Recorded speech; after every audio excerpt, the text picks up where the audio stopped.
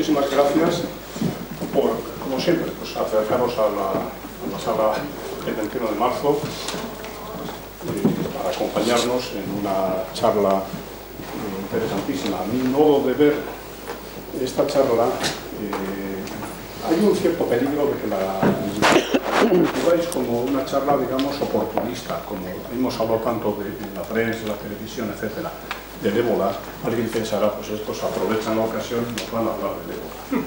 Y no, no es eso, os lo prometo, os lo juro, me podéis creer, que esto lo preparamos hace muchos meses, hace ya el año pasado. Gracias a Dios en esa época no había ébola todavía. Y como sabéis, los que venís por aquí con cierta frecuencia, pues lo que pretendemos es que la ciudadanía esté enterada de los mínimos, ¿eh? Unos, unos, conocimientos mínimos que son, a nuestro juicio, pues, imprescindibles. En el mundo moderno no tiene mucho sentido no saber qué son, o no poder distinguir, o no saber lo que son los virus, las bacterias, etc., como causas de enfermedades. Bien, entonces, eh, eh, tenemos una suerte, como siempre, tenemos la suerte que no sé si la merecemos, porque el profesor José Luis García esta es la cuarta conferencia que nos da, de temas, eh, digamos, dirigidos a explicar la, la teología, digamos, eh, como las razones biológicas de las enfermedades. Y en esta ocasión nos va a hablar, efectivamente, de la biología de los virus. El profesor eh, José Luis García es un doctor en química y licenciado en farmacia. Son dos ramas un poco por la Universidad Complutense de Madrid. Eh, ha trabajado como profesor en la Universidad Complutense y como jefe de grupo de investigación en la empresa Antibióticos, que es conocida en España. En la actualidad es profesor de investigación en el Centro de Investigaciones Biológicas de un grupo de biotecnología medioambiental dentro del Departamento de Microbiología Molecular del Centro de Investigaciones Biológicas. Y después ha desempeñado eh, varios cargos como gestor de política científica en el CICIP, como subdirector general de investigación en el CSIC y como asesor del Ministerio de Ciencia e Innovación. Y después pues, también ha sido presidente de la Sociedad Española de Biotecnología y actualmente es eh, representante nacional del programa IDEAS del séptimo programa Marco. Es miembro del Comité Científico de la Agencia Española de Seguridad Alimentaria, del Consejo Asesor de la Innovación del Parque Científico de Madrid.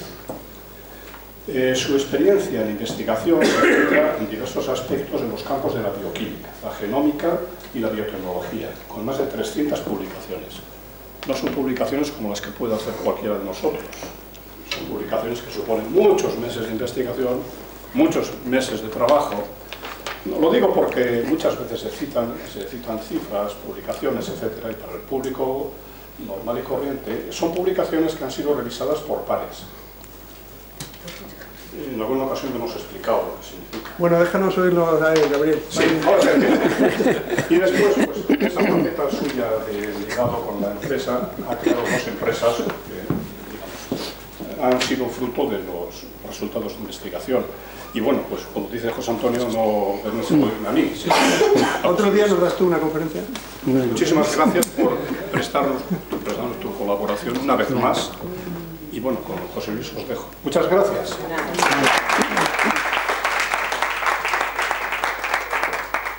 Bueno, como siempre es un placer estar aquí. Muchas gracias, Gabriel, por la presentación. Eh, como veis, estoy un poco afónico. Esto es, no, no, es fruto de ningún virus, por desgracia. Es fruto de la contaminación y de las alergias que tenemos. Entonces, bueno, espero que no, que no haya muchos problemas, pero me tendréis que perdonar un poco por, por la voz.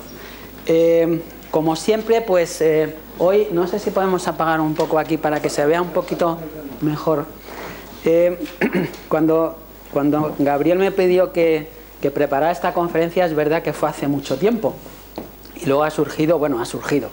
Han venido a, a cuento todas las historias del ébola, pero aunque este sí es el ébola, esto que veis aquí sí es el ébola.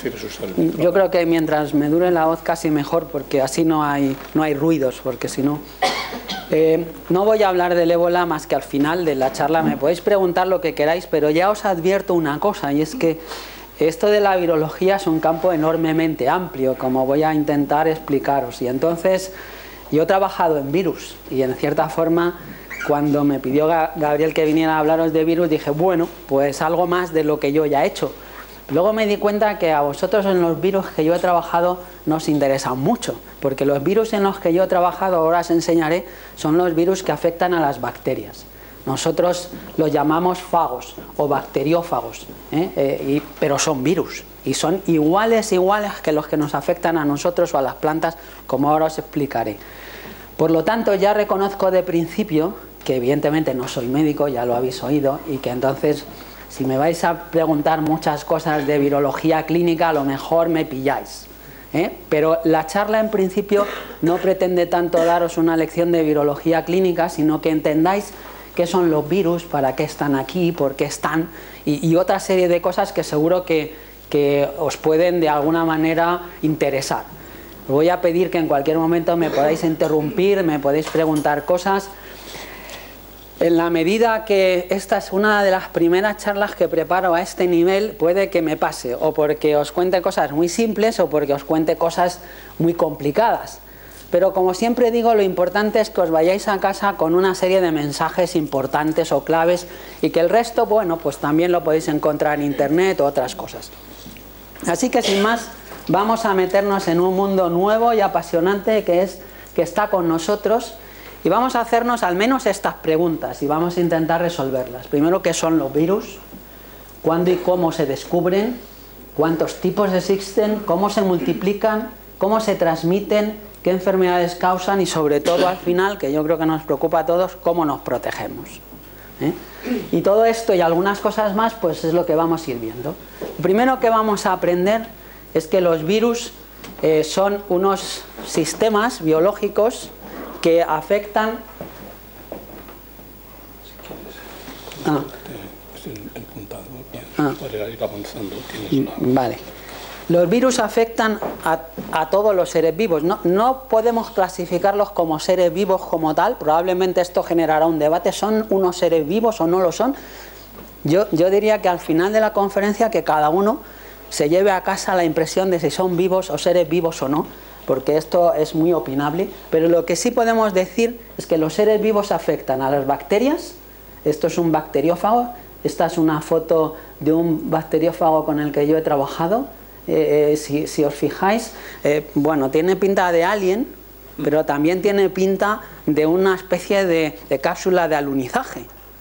Es como el, el, Apolo no sé cuántos. Y es muy parecido. En el fondo, ahora veremos algunos casos, pero es muy parecido esto sería la superficie de la bacteria, el bacteriófago se pega en la superficie, aquí tiene, ahora lo veremos, eh, toda la información genética y a través de una especie de espícula que tienen aquí abajo, inyecta el ADN o, o, lo que sea, el material genético, en la bacteria. O sea, es realmente lo más parecido para hacerse una idea de lo que puede ser un virus bacteriano, es una jeringuilla.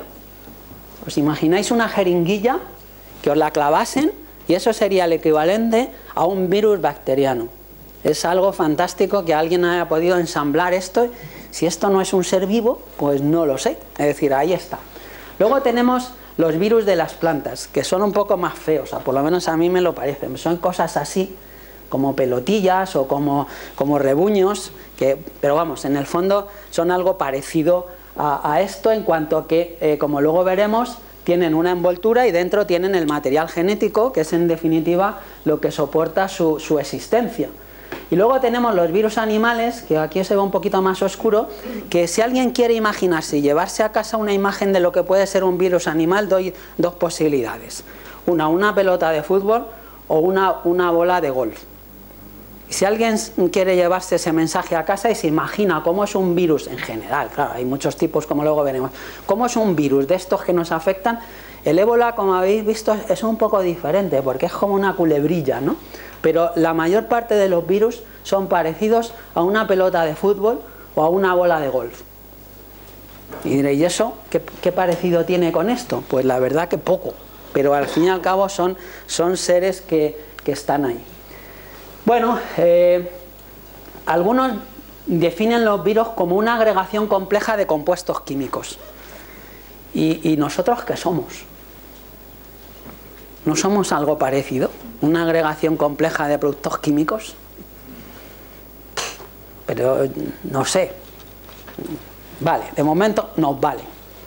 ¿Son organismos vivos? Aquí empezamos a pensar, ¿y qué es eso de ser vivo? ¿Se reproducen los virus? ¿Qué pensáis? Claramente, ¿no? ¿Tienen información genética para hacer otros, eh, digamos, elementos similares? Sí. Eh, de alguna manera también tienen proteínas, como luego veremos, tienen ADN o información genética, tienen algunas moléculas químicas a su alrededor. Claro, son, son pequeños y sencillos, pero por eso vamos a decir que no son seres vivos pues hay mucha gente que opina que no son seres vivos y otra mucha gente que opina que sí. Y entonces ahí andamos. Pero de alguna forma son seres muy parecidos a nosotros, como veréis en algunas cosas. Bueno, si alguien quiere entretenerse después en, esta pregunta, pues ahí en, en, la red puede encontrar un artículo que dice ¿Están vivos los virus? de Echeverría. Es un artículo muy bonito de divulgación y alguien se puede entretener. ¿Por qué nos interesan los virus? Hombre, pues los virus tienen un interés en sí mismo como organismos o como elementos que están con nosotros. Eh, algo para que la gente eh, no se vuelva a bañar en el océano. Os aseguro que si cogemos un mililitro de agua del océano, ¿cuántos virus creéis que puede haber en un mililitro de agua del mar, del océano, de cualquier playa en la que estáis? 4, 25, mil. Pues hay 10 millones aproximadamente, claro, depende del sitio, de, de partículas virales, generalmente, y eso es lo bueno, son de las de las bacterias, no de las que nos afectan a nosotros, pero también puede haberlas. Pero hay aproximadamente por cada mililitro de agua del mar o del océano 10 millones de partículas virales. Se dice pronto, ¿eh? Vamos, que nos alimentan. ¿Eh? No, no nos alimentan porque la biomasa que eso tiene es muy pequeña. ¿eh? Evidentemente, si, si estos virus que están en el agua del mar nos afectaran la cantidad de tragos de agua que nos habremos dado. ¿eh? O sea que, y, aquí en el ambiente hay virus, tenemos virus por todos los lados. E incluso, ya me anticipo, los tenemos formando parte de nuestro organismo. Es decir, en cierta forma hay virus que viven con nosotros y se reproducen con nosotros. Entonces no sé si somos un poco virus en alguna medida y ya veremos luego de qué estoy hablando. Así que son seres que están con nosotros y, alguien me dirá, eh, ¿para qué están aquí? Esa sería una pregunta, una pregunta de base. ¿Para qué están los virus? ¿Podríamos vivir sin virus? la, me la hacía yo la pregunta el otro día y no me la había hecho nunca. ¿Podríamos vivir sin virus? ¿Podríamos encontrar una manera de eliminar todos los virus y podríamos vivir sin ellos? Pues es una pregunta difícil. Yo a priori decía o pensaba que sí, que realmente los virus no los necesitamos para nada. Pero leyendo un poco más, eh, los virus que están en el agua del mar eh, y en los mares y en general en la naturaleza son elementos que de alguna forma nos permiten, eh, son, depredadores en definitiva. Entonces alguien preguntaría, ¿para qué hay un depredador en el medio ambiente? ¿Tenemos que eliminar a los lobos o tenemos que eliminar a los depredadores? No, lo que nos sirven es para mantener el sistema en, perfecta concordancia. Entonces, en ese sentido, las bacterias que están en el agua del mar están matando, perdón, los virus que están en el agua del mar están matando a bacterias, cuando las matan sueltan proteínas y otras cosas que se alimentan a otros seres vivos y cierran un ciclo. Y además, los, los, bacteriófagos, estoy hablando un poco de bacteriófagos porque era mi campo y ahora luego ya voy a hablar de los otros, pero los bacteriófagos lo que sirven es para transmitir información genética y van generando diversidad genética. En el fondo son herramientas biológicas para transmitir biodiversidad y mantener la biodiversidad. Entonces a lo mejor yo pensaría, pues los eliminamos a todos, nos inventamos un antiviral y los matamos a todos. A lo mejor nos morimos nosotros después. Bueno, lo dejo ahí como reflexión. ¿eh? Lo, lo que sí que ya os he contado alguna vez es que las bacterias no las podemos matar. Sin bacterias no viviríamos en este planeta. Probablemente los únicos seres vivos que podrían sobrevivir en este planeta, si pasara algo, serán las bacterias. ¿eh? Porque son las que viven sin necesidad de casi nada. Los virus como necesitan a las bacterias ya es un poco más difícil. Bueno, seguimos avanzando. Son modelos de genética y bioquímica que nos han servido para desarrollar buena parte del conocimiento que hoy en día tenemos sobre nuestros genomas o sobre nuestra identidad genética.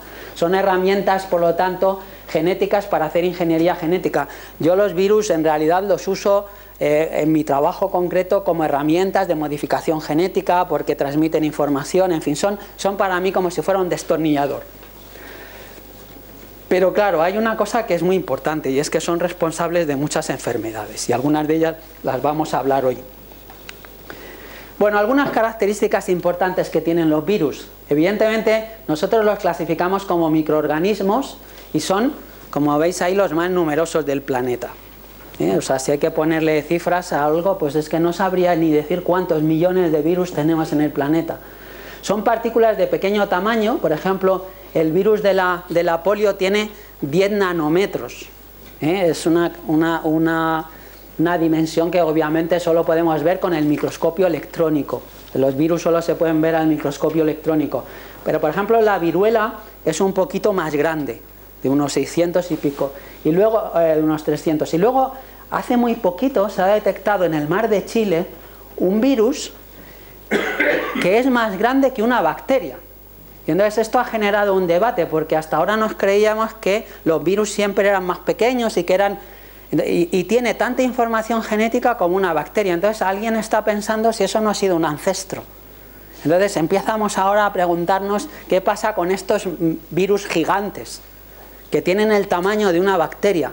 Y de hecho cuando lo miraron, creyeron que era una bacteria y luego se dieron cuenta de que era un virus. En fin, cada día nos sorprende. Esto se ha descubierto hace muy poquito. Sin embargo, eh, el primer virus se descubrió, ahora veremos, en el año 1898, o sea, en el siglo XIX, finales, principios del siglo XX. Bueno, ahora veremos por qué. son parásitos, lo que sí que hay que tener en cuenta es que son parásitos. El primer virus, como vemos aquí, se vio en el año 40. ¿Y por qué se vio en los años 40 del siglo pasado? Pues porque no se había inventado el microscopio electrónico. Entonces, hasta que no se inventó el microscopio electrónico, se podía intuir pero no se podían ver. Son organismos acelulares, es no son como una célula. El, genoma eh, eh, es, independiente del de la célula hospedadora, necesitan un huésped, no tienen un metabolismo propio y son auténticos dictadores. Esto es un mensaje también. O sea, los virus eh, hay que tenerlos en algún sitio bien guardaditos porque no, no, conviene. O sea, no soy partidario de, de, jugar con los virus. No, no, no es buena cosa. Eh, esto no os voy a entretener mucho, saber que los virus se clasifican, ahora iremos un poco más en función de sus genomas, ahora, ahora me entretendré un poco más en esto más adelante, y, y como todo, ¿por qué? Porque los taxónomos, que son una parte de los biólogos, se dedican a clasificar y siempre tenemos que clasificarlo todo. Bueno, pues ahora mismo hay siete clases diferentes de virus. Pero no, no significa nada porque como veis hay virus de todo en todos los lados. El de la hepatitis está por aquí, el del SIDA por aquí, el de la polio por aquí, el de la gripe y la rabia por aquí. Estos son bacteriófagos, pero en el mismo grupo en el que hay un fago bacteriano está el herpes y la viruela. Es decir, que, ¿qué nos dice la clasificación? Poco. A mí esto, yo es que soy antitaxónomo, pero soy, soy muy heterodoxo en estas cosas, pero hay que clasificarlos. Y esto es otro mensaje. Y esto puede ser otra conferencia. Y es que hay otros bichos, no, bichos no, eso es una palabra muy, muy así, que, que están ahí con nosotros también y son todavía más simples, mucho más simples. A lo mejor os habéis, o sí que lo habéis oído, esto os suena, los priones, porque os suena lo de las vacas locas, ¿no? ¿Eh? Eso lo habéis oído todos, la enfermedad de las vacas locas. Por la enfermedad de las vacas locas la causa una proteína. Una proteína que es infectiva. Y esto sí que por eso le valió el premio Nobel al que descubrió los priones, porque esto sí que es una aberración desde el punto de vista Nunca habíamos pensado que algo infectivo podía ser una simple proteína. Bueno, pues esto es una, otro tipo de, elemento infeccioso. Y luego existen esto que se llaman viroides, que como veis aquí, esto es una foto de microscopía electrónica que, que estas las secuencias son, son polímeros de, nucleótidos, de lo que se llaman pues, eh, información genética, pero son solo eso. Es un trozo de, RNA, que ahora veremos qué es eso, que tienen como vida propia. Eh, y estos virus son muchos de los virus que veis en las plantas. Cuando veis las plantas que tienen cositas amarillas y esas cosas, no son virus como los que vamos a hablar, son estos puñeteros que están aquí, que son unas entidades ya más simples que un trozo de molécula, vamos, o una proteína o una, un RNA, no lo hay. Pero esto requeriría otra, otra conferencia porque es otro universo. Y de esto sabemos algo, pero tampoco mucho. Bueno, ¿cómo se descubren? Pues este señor, Beingerink, eh, que es profesor de microbiología de la, unidad, de la Universidad de Delft en Holanda, encuentra algo que eh, cuando está filtrando las bacterias son más o menos gorditas y pasan por filtros y se retienen en los filtros. Y entonces ese señor estaba trabajando con unos filtros porosos de porcelana que retenían a las bacterias, pero pasaba por el filtro algo que seguía teniendo una actividad infectiva. Y entonces, pues él lo llamó contagium vivum fluidum, o sea, algo que era como fluido, porque era como el agua que atravesaba la porcelana porosa, y entonces, pues ahí estaba.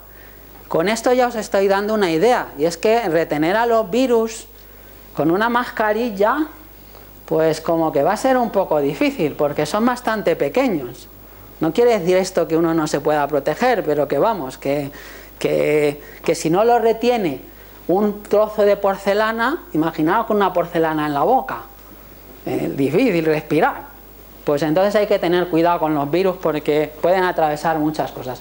Bueno, lo descubrió en el año 1898 y, fijaros que, con qué virus trabajaba. Claro, él miraba la infección, no, hacía experimentos con personas. Aquello que pasaba por el embudo de, de, porcelana no lo infectaba a una persona a ver si tenía infectividad, se lo infectaba a una planta y estaba trabajando con el virus del mosaico del tabaco, que los que seáis de campo ya habéis visto tabaco, seguramente habéis visto estas hojas de tabaco fastidiadas con el virus por allí, que es un virus que tiene esta forma, es como un palito.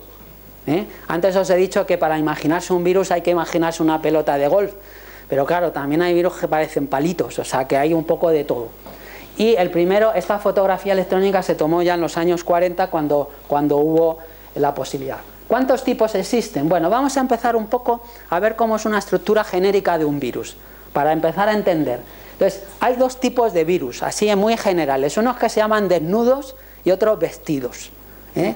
Lo de desnudos es verdad, lo de vestidos es mentira porque no se llaman vestidos, pero desnudos sí, nosotros lo llamamos virus desnudos. Entonces esto que vemos aquí es un virus desnudo, que lo único que tiene es como una pequeña cápsula de proteína y dentro el material genético nada más, muy sencillito. Y luego lo que son virus con envuelta, que son los virus vestidos, además de esto, tienen a su alrededor otra, otra esfera, son como capas, son como las muñecas estas rusas, que tienen varias capas, las, las matriuscas, pues, pues, pues, esas. Entonces imaginaros que no, no tiene tantas, pero vamos, unas pocas sí, dos o tres capas puede tener. Entonces un virus al final está ahí, ahora veremos para qué tiene capas. Bueno, ya, ya pensáis, ¿para qué va a tener capas? ¿Para qué pensáis ¿Por qué pensáis que un virus tiene capas? ¿Para qué nos haríamos capas nosotros? Para, proteger, para protegerse y fastidiarnos. Claro. Entonces, eh, cuanto más capas tiene un virus, cuanto más complejo sea, más, más puñetero va a ser. ¿eh? Entonces, bueno, ahí estos van evolucionando. Los hay tan sencillos como esos que llamamos viroides, que no tienen ni capas, hasta los más sencillos de, desnudos y los, y los, de la envoltura. ¿no? Hay una serie de nombrajos que usamos nosotros para distinguirlos que se llama la cápsida. La cápsida es la manera de decir la envuelta. ¿eh? Como, como, si fuera la cápsula, pero es que nosotros no decimos cápsula, porque si dijéramos cápsula nos entendería todo el mundo, pero así decimos cápsida y no nos entiende nadie. ¿eh? Y entonces la cápsida está formada de pequeñas, eh, mm, digamos, fragmentos que se van ensamblando, que son los capsómeros. Si, pensáis en una pelota de fútbol, luego lo veréis, un capsómero es como, como los, los cuadraditos que tiene el balón de fútbol. Y la cápsida sería todo lo que forma la envuelta. ¿De acuerdo? Bien, a partir de eso, luego lo rodeamos de, de como si dijéramos, lo rodeamos de grasa porque en el fondo las envueltas de esto son grasas, muchas de ellas son grasas con proteínas, como si quisiéramos conservar la pelota un poquito mejor. Antiguamente cuando yo era pequeño los balones no eran como los de ahora, eran de cuero y les poníamos grasa. Pues sí, o sea que os imagináis algo parecido. Estoy trivializando mucho, pero lo que pretendo es de que de alguna manera cuando penséis en los virus penséis en algo que sea familiar. Muy bien. Bien, eh, Aquí no voy a entrar mucho en detalle, pero la cápsida esencialmente tiene proteínas, que nosotros para fastidiar le llamamos protómeros, pero bueno, eh, pueden ser helicoidales, ahora veremos, y lo que más me interesa es que son autoensamblables. Es como, eh, yo el otro día veía una, película que se llama Los Transformers, que, era, que, de repente estaba todo así, suelto, y de repente hacía plum, plum, plum, plum, plum, y se, y se montaba el Transformer pues los virus son como los Transformers. Les pones los trocitos por ahí y ellos solo se autoensamblan.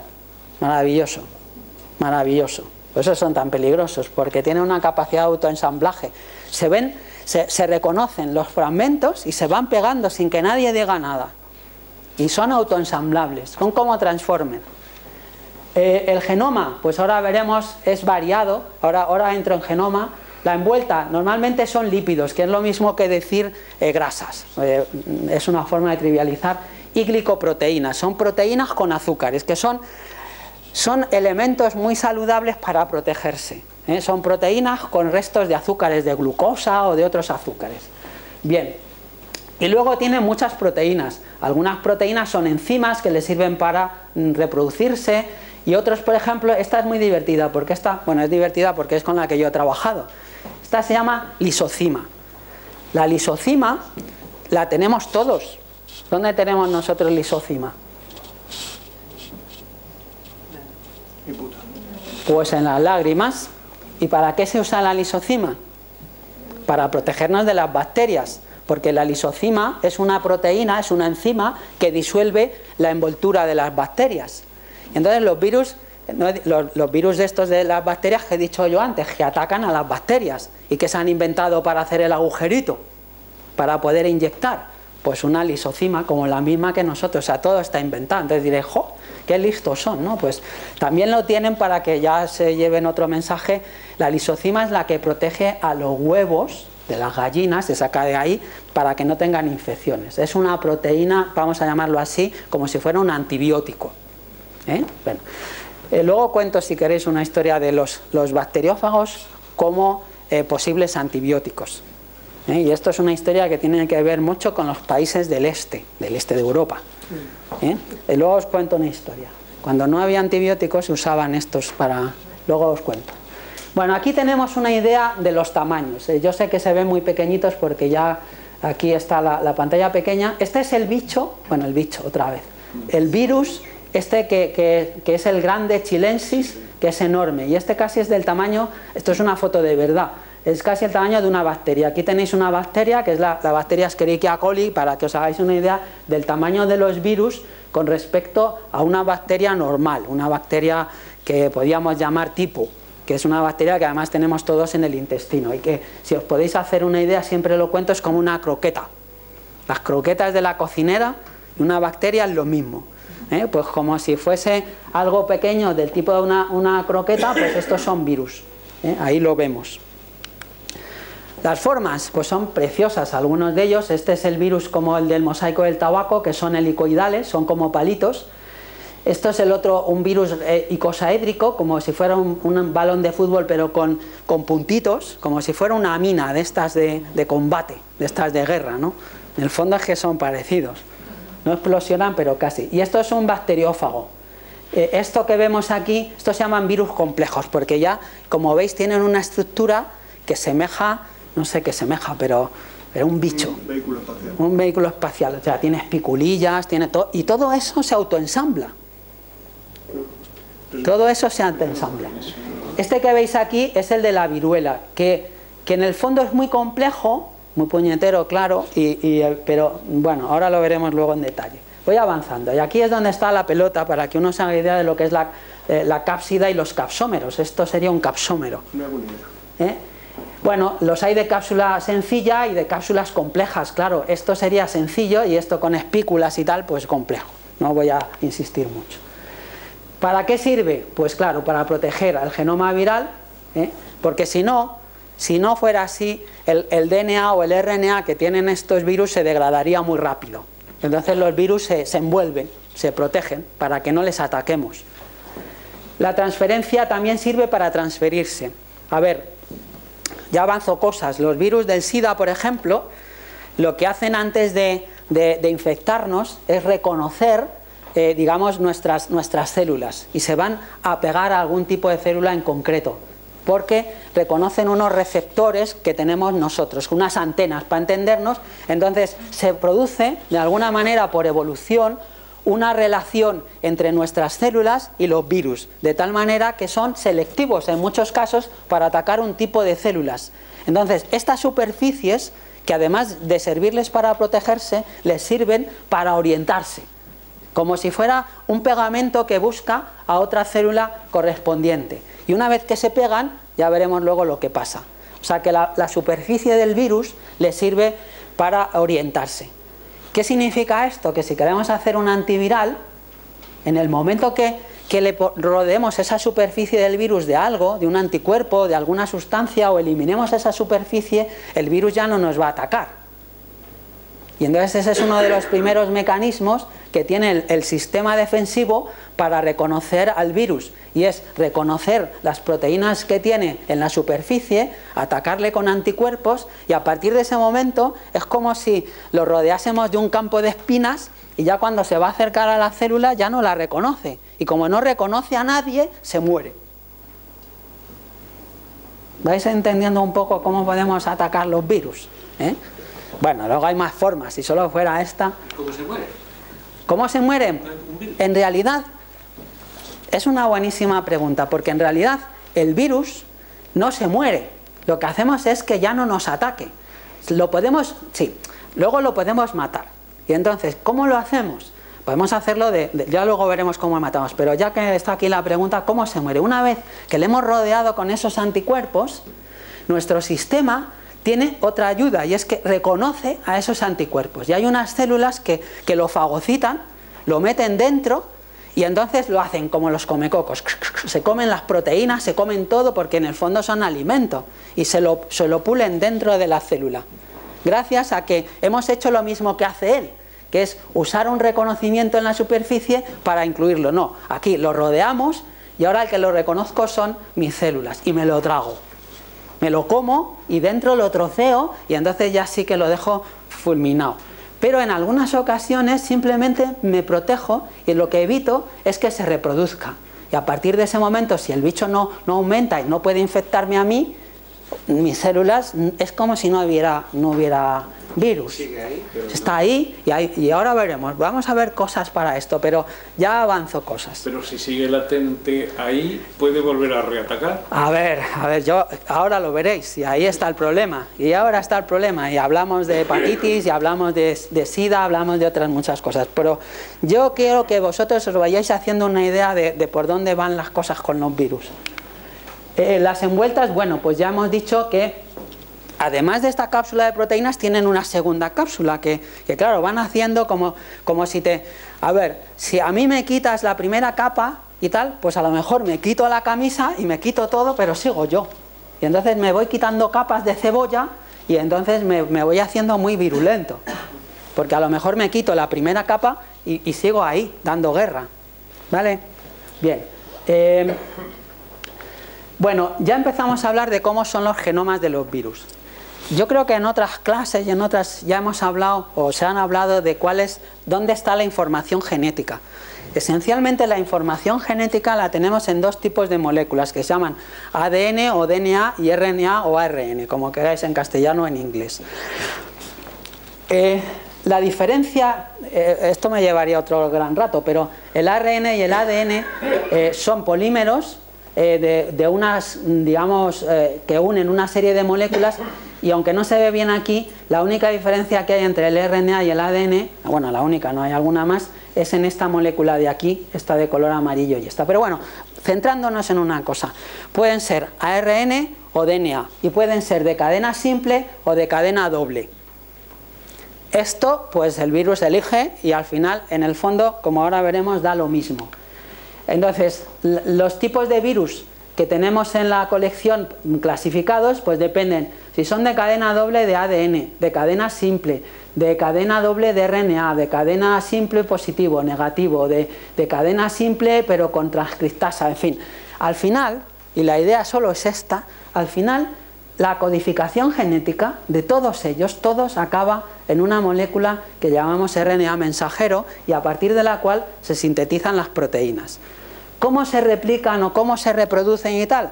Pues cada uno es un universo, nos llevaría una clase entera explicarlo, pero quedaos con la idea, los virus tienen material genético constituido por moléculas de ADN o de RNA, que pueden ser de una sola cadena o de dos cadenas y todas las combinaciones que os imaginéis. Lo que no hay nunca, esto está en discusión, son virus que tengan a la vez ADN y, ARN.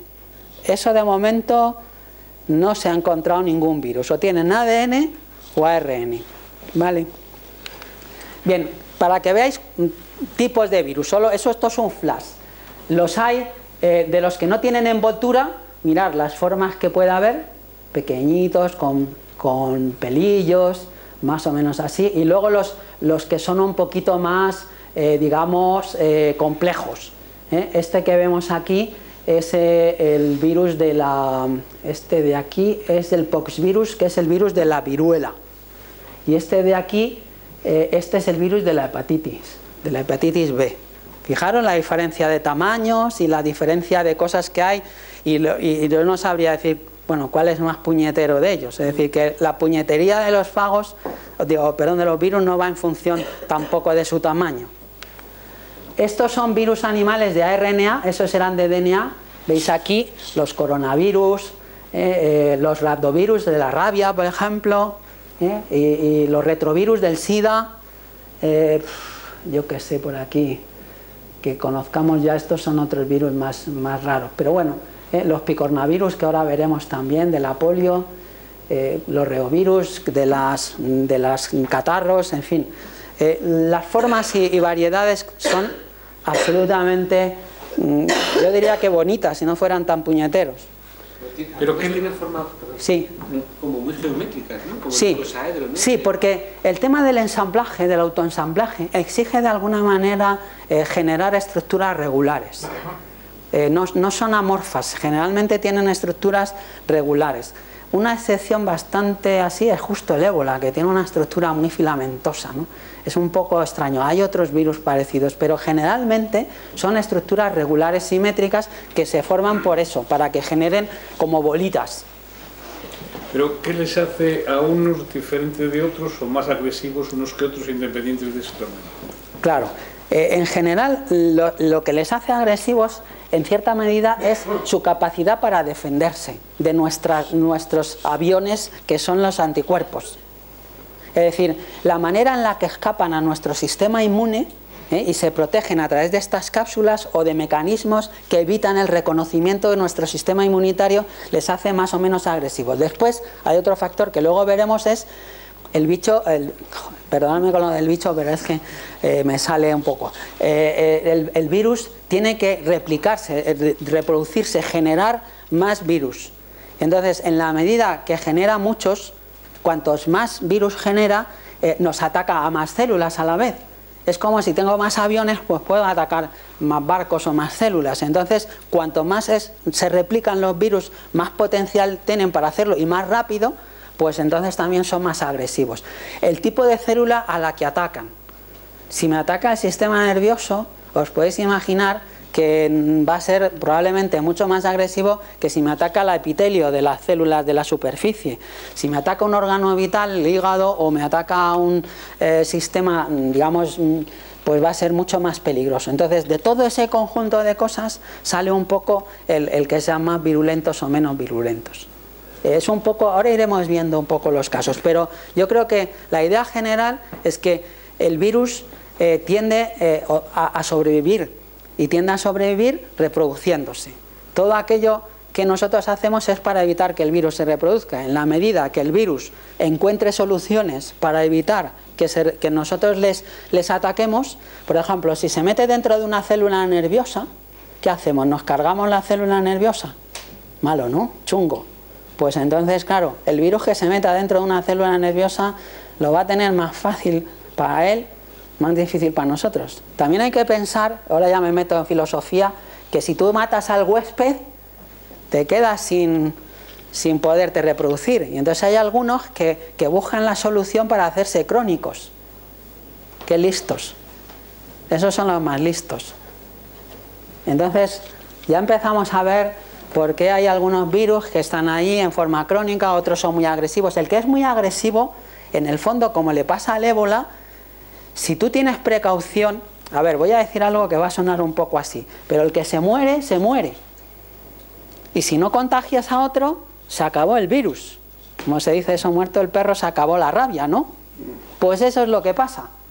Sin embargo, si hay otros virus que están siempre por ahí y no te matan, te dan más posibilidades para infectar a otros. Son listos estos, por eso lo de que si son seres vivos o no, no sé. Vale, em- ah, seguimos. Vemos cómo se, cómo se replican los virus. En el fondo ya estábamos entrando. Eh, eh, normalmente tienen dos vidas. Los virus viven en dos situaciones. Una extracelular y otra intracelular. Entendiendo extracelular todo aquello que no es intracelular. Es decir, extracelular es el medio ambiente y extracelular es mi sangre o mi sal. No, extra. Intracelular es dentro de la célula y cualquier otra cosa es extracelular.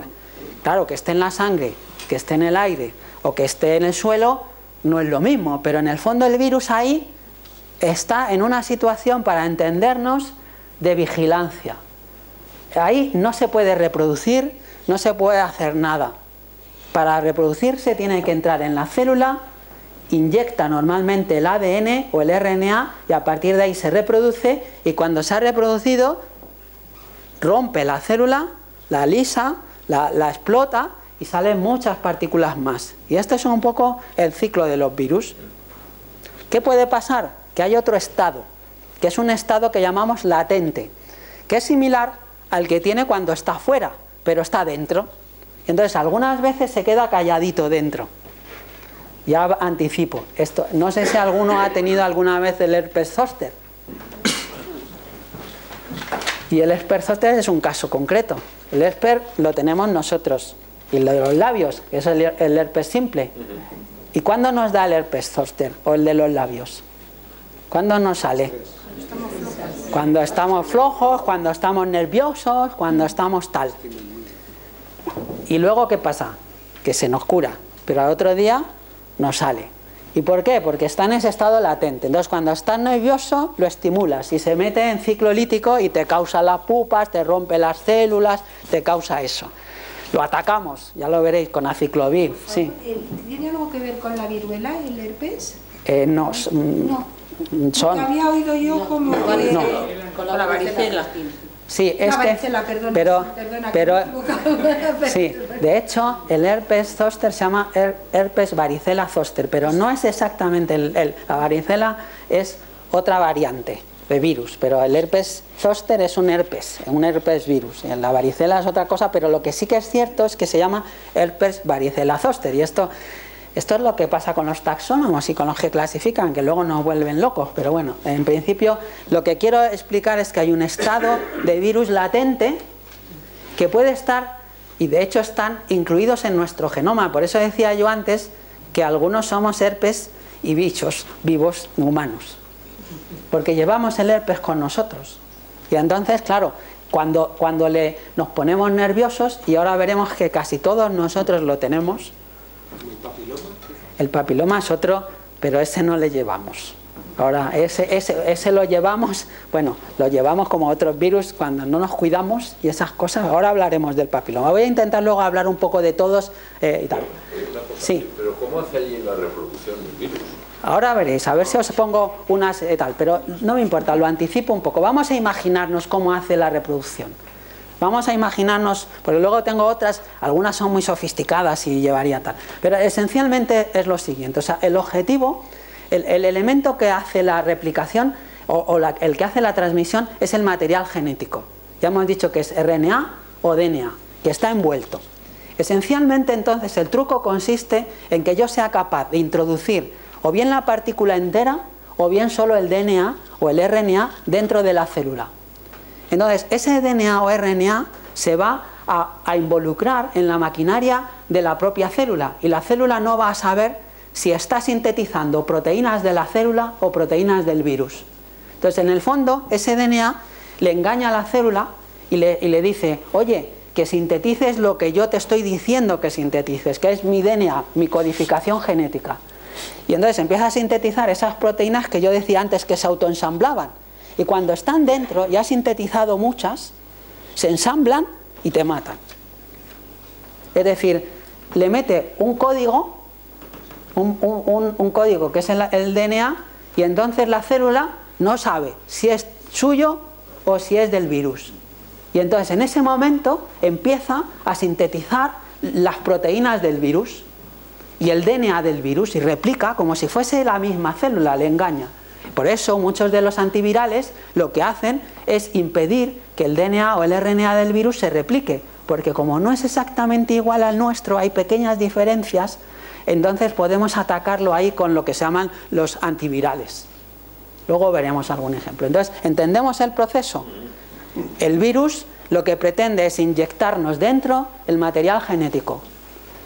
Entonces, claro, ya os podéis imaginar, primera barrera, si impedimos que el virus nos entre en la célula, ya tenemos el primer elemento antiviral. Pero una vez que entra en la célula, ahí vienen las complicaciones, porque entonces el producto químico tiene que entrar dentro de nuestra célula y tiene que atacar la maquinaria de síntesis de proteínas y de, y de tal de la propia célula, que es muy parecida. Y claro, son tóxicos que no os podéis imaginar, porque al mismo tiempo que mata al virus, nos mata a nosotros. Y por eso los antivirales nos dejan planchados, porque son elementos muy parecidos a los anticancerígenos, porque tratan de matar la esencia de la vida y como somos muy parecidos a los virus hay que buscar esas pequeñas diferencias y entonces con eso, ¿dónde buscamos las diferencias? Pues buscamos las diferencias en las proteínas del virus, que son distintas, y entonces atacamos esas proteínas. Pero en el fondo, más o menos, yo- queda claro cómo, cómo lo hace. vamos. Sí, sí, sí, te, te engaña. Es, información realmente. Un virus es información. A ver, yo, yo ya me anticipo. En el fondo, ¿por qué se llama virus a los virus informáticos? ¿Qué hace el virus informático? No hace lo mismo. ¿eh? Se mete en el ordenador, te, te corrompe los programas y se reproduce para salir fuera a infectar a otros. Por eso se les llama virus. No es igual, pero os podéis hacer una idea del mecanismo. La manera de detectarlos es el mismo, es intentar detectar los patrones que tienen. Ahora veréis cómo los detectamos. Ahora, ahora veréis cómo los detectamos de verdad y cómo, cómo lo hacemos. Bueno, entonces, el periodo de infección de un virus, me parece que me estoy extendiendo un poco, pero bueno, es que eh, eh, el periodo de infección de un virus lo vemos aquí. Hay, hay primero una fase de eclipse, es decir, el virus cuando entra eh, y suelta todo su material, digamos que no, no, no pasa nada, está ahí, está actuando, en principio nada. Pero a partir de un determinado momento, que es cuando empieza a sintetizar las proteínas de eso que hemos llamado la cápsida, la envuelta y demás, es cuando entra en esa fase totalmente virulenta y se, y, se, y se explosiona todo. Es decir, pasamos de un montón de días en los que parece que no pasa nada a una cosa de pico. Y por eso pasan, por eso son peligrosos, porque en algunas de estas etapas previas al pico, sobre todo por aquí, están in- infectando. Aquí no pasa nada, pero cuando empiezan por aquí, y aquí nos hemos muerto. Y ahora no pasa nada tampoco. ¿Eh? Definitivamente. Eh, definitivamente, claro. Bueno, aquí, Aquí lo veis en un caso bacteriano, como hace el, virus, pero podría ser igual una de esto, pues nos inyecta, en este caso, eh, inyecta como si fuera una jeringa. Los, virus bacterianos lo- se han inventado una jeringuilla y lo inyectan el ADN sin tener que meterse dentro, en general. Entonces inyectan el ADN, se mete dentro, sintetiza las proteínas, se ensamblan y al final rompen la célula. Son parásitos. Si es como un parásito. Bueno, ¿cómo lo hacen los virus animales? Pues aquí tenéis ejemplos de varios. Este virus, por ejemplo, lo que hace es que la envuelta que tiene, que es una, membrana de, de grasa, se confunde con la membrana de grasa de la célula, que nuestras células tienen una membrana de grasa, y, y lo engaña. Y entonces le hace que parezca su propia membrana, y veis, se ha confundido y ya está dentro. Se ha colado como... Qué chulo, ¿no? Bueno, qué, qué puñetero. Y este otro, este otro lo hace de otra manera. Y este otro lo que hace es que la membrana nuestra lo envuelve. Y lo que crea es una especie de bola que se va invaginando dentro hasta que está dentro y ya luego pues se libera. Este otro, que son los desnudos, lo que hacen es que reconocen proteínas de la superficie, se juntan con las proteínas de la esta y entonces también terminan envolviéndolo y metiéndolo para adentro. Son casos de lo que llamamos fagocitosis. Se fagocitan. Bueno, eh, ¿cómo pueden, eh, digamos, estar los virus? ¿Qué pueden hacernos? Esto es un poco muy largo, pero voy a hacerlo breve. Y ya anticipo algo. Los virus pueden hacer que dentro de la célula no pase aparentemente nada, es decir, que no haya otros virus, pero convierten nuestras células en células tumorales y entonces nos causan cáncer. Algunos virus no hacen otra cosa, bueno, hacen cosas, pero vamos, ni otra cosa, claro, nos causan cáncer. Entonces hay virus que son lo que se llama virus oncogénicos, que, que causan cáncer, El por ejemplo. Y ahora luego voy a acabar con eso para luego veis cómo se puede hacer. Luego hay otros virus que entran en lo que podríamos llamar ciclo normal de lisis, que son estos que hemos visto que se meten, se reproducen y te rompen la célula. Luego hay otros virus que son, eh, digamos, de estos que, que van estando adentro, pero veis que no se rompe, que van soltando, que estos son los crónicos.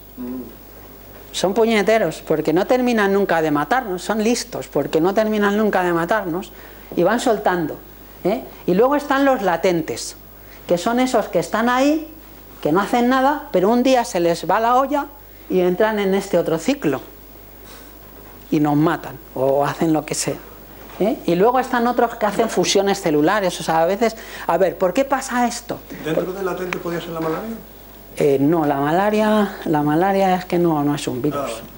Eh, Es una, es, y entonces, bueno, eh, otra cosa que nos suele pasar es que las infecciones las causan mm, bacterias, virus y tal. Entonces, eh, a veces incluso lo que ocurre, como veremos luego con el SIDA, co- coexisten infecciones varias. Y entonces, eh, mm, se uno se piensa que la, enfermedad la causa uno y a veces te- realmente te mueres de otra cosa, ¿no? Pero lo cierto es que la malaria no, eh, es, no- es un virus. Es igual de puñetero o más, pero no es un virus. Bien, bueno, esto es lo mismo, no le voy a dar vuelta, decía antes tenía más cosas más sofisticadas. Aquí veis lo que ocurre cuando, estos son fotografías de verdad, cuando se lisa la célula, la explosión de virus que se producen. Esto es una foto de esto también, aquí veis cómo se van rompiendo, salen como, como a, manadas, vamos, es como, como si tuvieran gusanos, es como si imagináis algo con gusanos, pues en vez de con gusanos en una patata, pues en una célula. ¿Cómo se cultivan? Ya va ahí pasando. Los virus bacterianos se cultivan en, medios nutritivos, con agar, se, cultivan realmente sobre bacterias.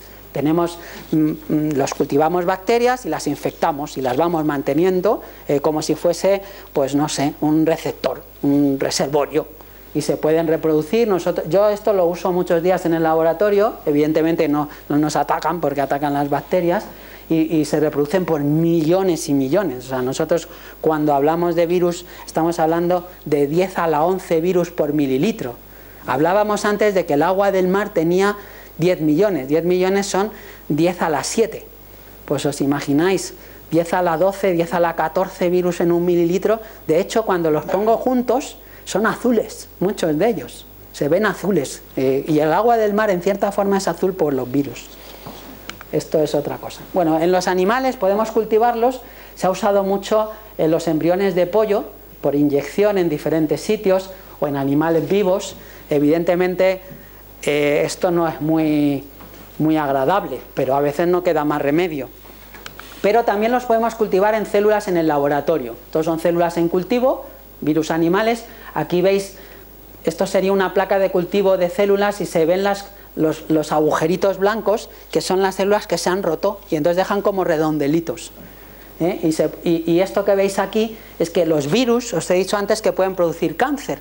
Los virus que pueden producir cáncer, cuando estos virus infectan las células, crecen, hacen que las células crezcan de forma continua, porque la célula cancerosa es como una célula inmortal, que se reproduce y se reproduce. Entonces, cuando queremos nosotros inmortalizar las células en el laboratorio, las infectamos con virus para que las podamos conservar, porque las células que no están infectadas o las células que no son se, mueren a los pocos pases y entonces usamos mucho los virus para inmortalizar líneas celulares. Bueno, estos son cosas que... Las plantas, pues también. No os estoy hablando nada de plantas porque esto requeriría otro apasionante debate porque los hay de muchos tipos, además son muy importantes en agricultura, en la casa, en muchos sitios. ¿eh? Eh, también se cultivan, ¿eh? se, le- se lesionan. Para infectar una planta es tan sencillo como hacerle con el virus una rayita en la hoja se infectan así, o sea, es chupado infectar y por eso, claro, se infectan facilísimo. Y aquí lo vemos, virus vegetales, no voy a hablar nada. ¿Cómo se detectan? Aquí vemos así en líneas muy generales cómo detectamos un virus. Entonces, ¿qué tenemos en un virus? Hemos dicho proteínas y, ácidos nucleicos. Pues podemos detectarlos mirando sus proteínas o sus ácidos nucleicos. Si lo hacemos con las proteínas, lo hacemos con sistemas que se llaman de inmunodetección, con anticuerpos. No me voy a entretener mucho, esto es una placa que se llama de ELISA, en función del colorcillo podemos saber si hay virus y además cuanto más color, más virus. Entonces cogemos una gotita de sangre y hacemos esto y vemos si hay en la sangre un virus. Hemos hecho antes los anticuerpos específicos para estos virus, que eso sería otra clase, y esto pues es el pan nuestro de cada día para detectar virus.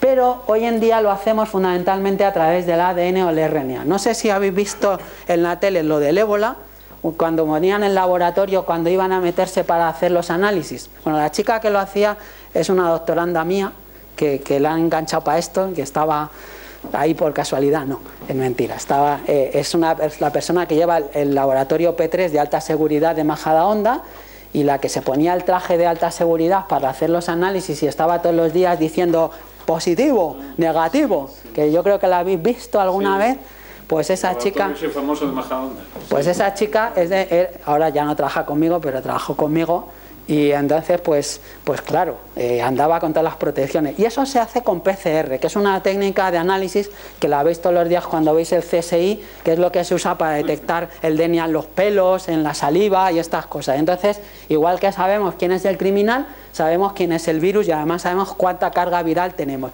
Eso se hace con técnicas de amplificación y hibridación que me llevaría mucho tiempo decíroslo. Esta es una técnica, solo la pongo aquí para hacer propaganda de mis amigos de genómica de Celtia, porque es una técnica que se usa para el papilomavirus y es española.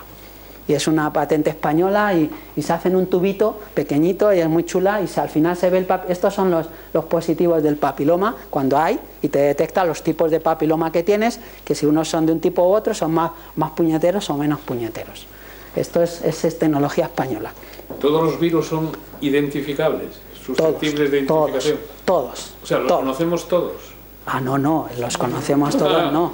No, los conocemos todos y los estudiamos. Hemos dicho que son los seres más abundantes del planeta. Conocemos muy pocos. Sobre todo los que conocemos son los que nos hacen daño a nosotros, a los animales y a las plantas. Los que les hacen daño a las bacterias como que no nos importan mucho. Y esos son los más abundantes. Pero casi todos los virus que tenemos, eh, digamos, que nos afectan a nosotros de una u otra manera, eh, yo diría, cuando digo estas cosas parece que yo diría que los conocemos esencialmente todos. Pero no mutan. Ah, sí, sí, claro que mutan, claro, y ese es el problema, ahora hablaremos de eso. Pero cuando mutan, mutan, no es que lo cambien todo. Y luego me preguntáis qué hace cuando mutan.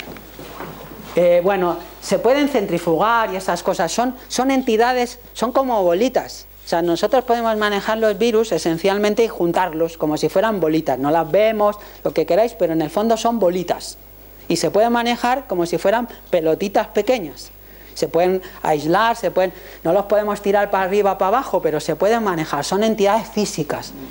Y se pueden centrifugar, se pueden aislar de muchas maneras. O sea, que eso también quedaros con la idea de que los virus son entidades físicas, aislables, manejables, visibles, ya habéis visto. ¿Cómo nos protegemos?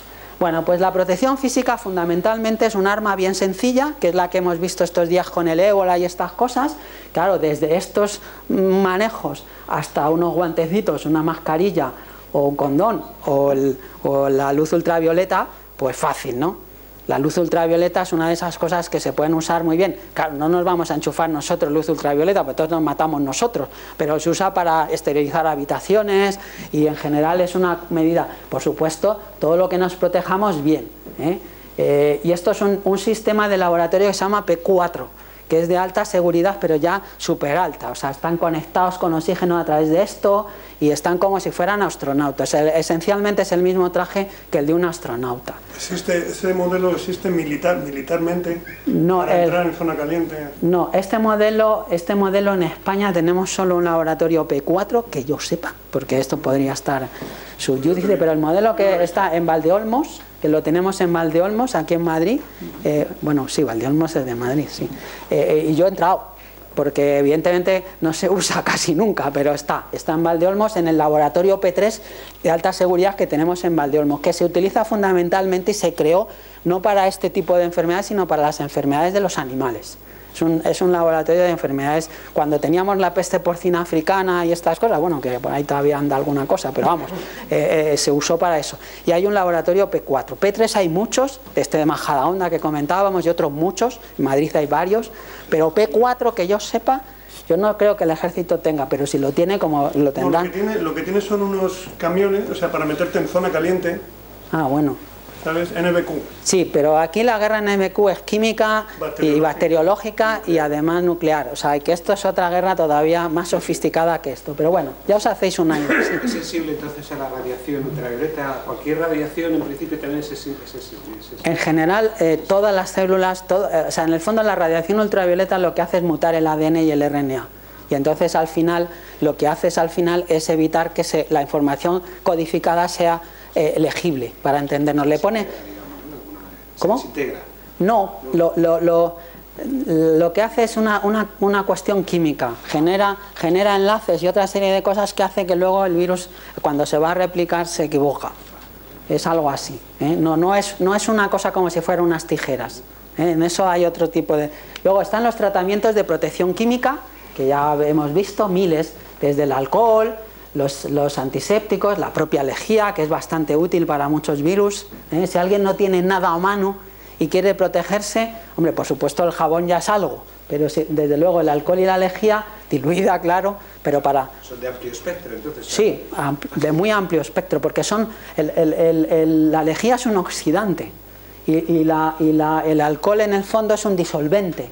Como hemos dicho, que esto tiene lípidos y tiene tal, entonces ya vais en- y además precipita las proteínas. Y es que, bueno, echaros, echar un poco de alcohol en alguna papilla de proteínas y ya veréis lo que pasa, se coagula todo. Bueno, estos son experimentos caseros. Eh, avanzo. Pero bueno, en el fondo esos son protecciones, digamos, eh, eh, para cuando antes de que nos mate o de nos infecte. Pero luego están todos los antivirales. Aquí tenéis el antiviral que está ahora en liza, ¿no? El Sovaldi. Si luego queréis hablamos del Sovaldi. Sovaldi sabéis lo que es. Ah, pues eso. No, no, habla. ¿No? El Sovaldi es lo de la hepatitis C. Esto es lo que está pidiendo ahora. Oye, lo que están pidiendo los del enfermo. Pero vamos, no es mucho más caro que todos estos. El problema de lo caro o barato, luego discutimos de por qué es caro o barato, es otra cuestión. Claro, claro.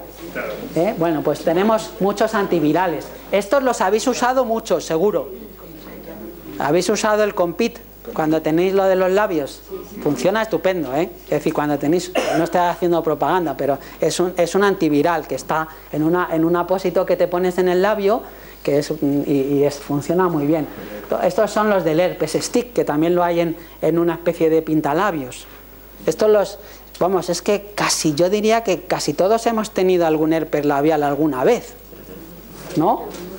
Lo que llamamos una calentura. Vamos, ¿cuántos no habéis tenido calenturas? Él, él, Ah, tú no. Bueno, pues entonces el único. eres un mutante. Bueno, después tenemos anticuerpos para sí. ¿Es lo mismo retroviral que antiviral? Sí, Eh, a ver, antiviral es un término para todos los virus. El retroviral es para atacar los retrovirus, entre otros el SIDA. Cuando se habla de retrovirales es para atacar a los retrovirus, que es uno de esos clasificados por los taxónomos que ahora os enseñaré, pero se llaman retrovirales porque atacan a los retrovirus. Son virus RNA, en fin, SIDA. Eh, bueno, hay más, pero son retrovirales por eso, pero son antivirales en genérico, antivirus.